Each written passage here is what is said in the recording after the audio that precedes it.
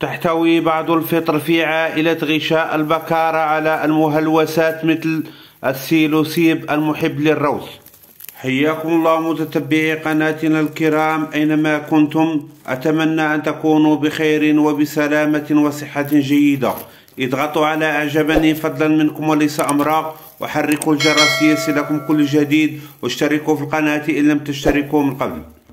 يسمى هذا الصنف فطريات غشائية المعدة.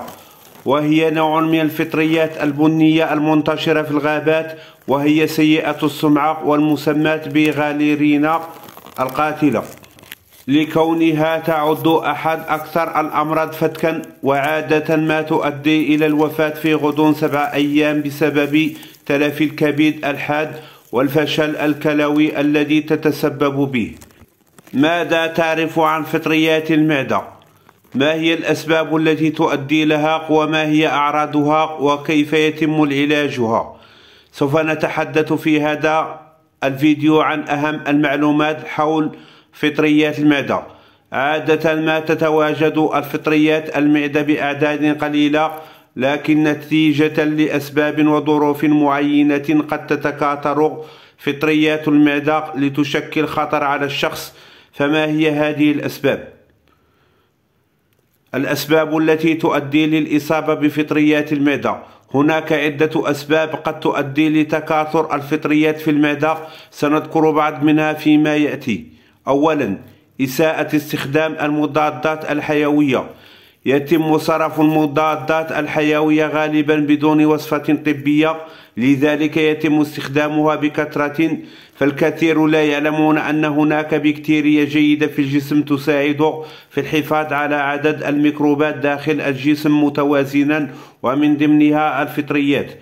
ويقوم المضاد الحيوي بقتل هذه البكتيريا الجيدة مما يتيح الفرصة لزيادة تكاثر الفطريات في المعدة. لذا يجب أخذ أسباب الحيطة والحذر في استخدام المضادات الحيوية.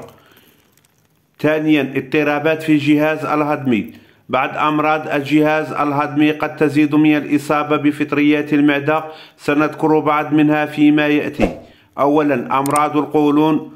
ثانيا قرحة المعدة قد تتسبب بفطريات المعدة. ثالثا التهاب الأمعاء هو أحد الأمراض المزمنة التي قد تسبب التهاب الأمعاء والإصابة بفطريات المعدة. ثالثا بعد الأمراض التي تضعف الجهاز المناعي. في حال أصبح الجهاز المناعي ضعيفا يصبح الجسم عرضة للإصابة بتكاثر الفطريات في المعدة. وقد يضعف جهاز مناعة نتيجة عدة أسباب نذكر منها فيما يأتي. أولا الإصابة بمرض نقص المناعة المكتسبة. ثانيا بعد أنواع السرطان. في حالة ضعف جهاز المناعة لا يقوى الجسم على مقاومة الالتهابات والأمراض الذي قد يتعرض لها.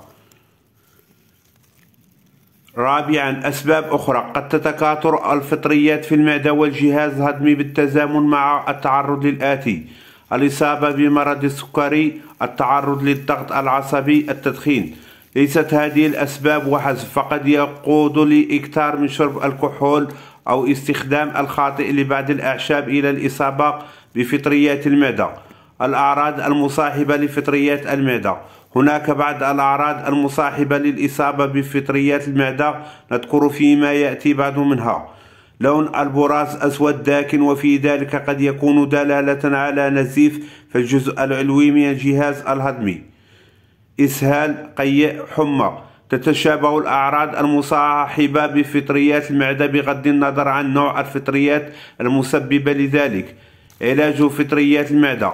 في حالة أثبتت وجود الفطريات في المعدة يقوم الطبيب بوصف مضادات لهذه الفطريات لكن يجب عليك أن تعرف أن المضادات الفطريات أعراض جانبية قد تتشابه مع بعض الأعراض المصاحبة للإصابة بالفطريات مثل الإسهال والغثيان. الوقاية من فطريات المعدة دائما وأبدا الوقاية خير من العلاج فاتباع الإجراءات الآتية قد يساعد في الوقاية من تكاثر الفطريات المعدة الابتعاد عن الأطعمة السكرية التوقف عن التدخين استخدام المضاد الحيوي في حالة الحاجة إليه فقط. ولتعلم أخي الكريم وأختي الكريمة أن الفطريات ليست نباتات ولكن في مملكة خاصة بهم.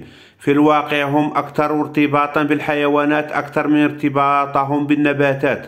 الفطر المألوف هو مجرد الجسم الثمر للفطر أي ما يعادل الزهرة على النبات. الجسم الرئيسي للفطر عبارة عن شبكة من الخيوط إما تحت الأرض أو داخل النبات أو الحيوان الذي يستضيفه.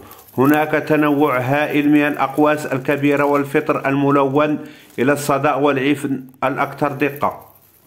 وتحتوي بعض الفطر في عالة غشاء البكارة على المهلوسات مثل السيلوسيب المحب للروت والتي يمكن أن تسبب الهلوسة عند تناولها. هناك أيضا عدد قليل من الفطر السام المميت في هذه العائلة مثل الهامش الفليوتا. والعديد من متجانسات والتي يمكن أن تسبب ألما حادا في البطن والإسهال والقيء ويمكن أن تستمر هذه الأعراض من 6 إلى 9 ساعات. بالإضافة إلى هذه الأعراض يمكن أن تؤثر السموم بشدة على الكبد البشري وتسبب نزيف الجهاز الهضمي والغيبوبة والفشل الكلوي وحتى الموت. تظهر هذه الأعراض عادة في غضون سبعة أيام بعد الاستهلاك. هناك أيضا العديد من الفطر السام في هذه العائلة والتي لا يجب عليك جمعها أو تناولها عند العثور عليها. إذا شعرت بعدم الراحة بعد الابتلاع فاطلب المساعدة الطبية في أقرب وقت ممكن. بعض الخصائص لهذه النبتة. هذه الفطريات هي عائلة من الفطريات في الترتيب. أغاريكاليس مع كل من أجسام الفاكهة على شكل غارق وكاذب كم عدد الأجناس الموجودة؟ يوجد 22 جنسا حيا مع حوالي 1631 نوعا حيا ما هو حجمه؟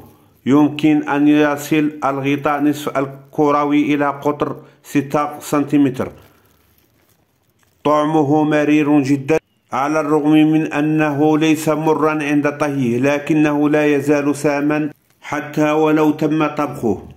وكتنبيه لا يمكن استخدام الملاحظات حول المحتوى كأساس لتناول أو لمس أي فطر. قد تكون بعض الفطريات سامة جدا لذا احرص على شراء فطريات صالحة لللمس وقابلة للأكل. وقبل الختام أريد أن أسألكم هل توجد هذه الفطرة؟ في بلدكم وما تسمونها بلهجتكم وأكتفي بهذا القدر. والسلام عليكم ورحمة الله وبركاته. في لقاء آخر إن شاء الله بحول الله وقوته.